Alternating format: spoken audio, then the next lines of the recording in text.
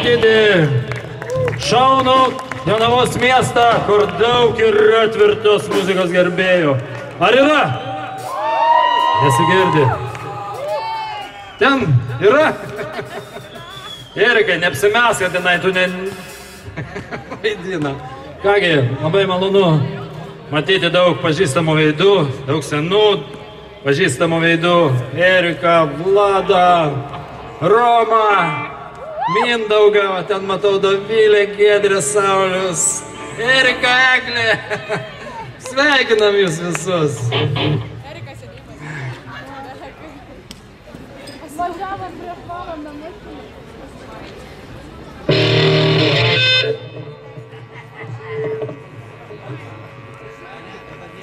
Gerą roko injekciją. Erikai, pra... galim pradėti. Ačiū.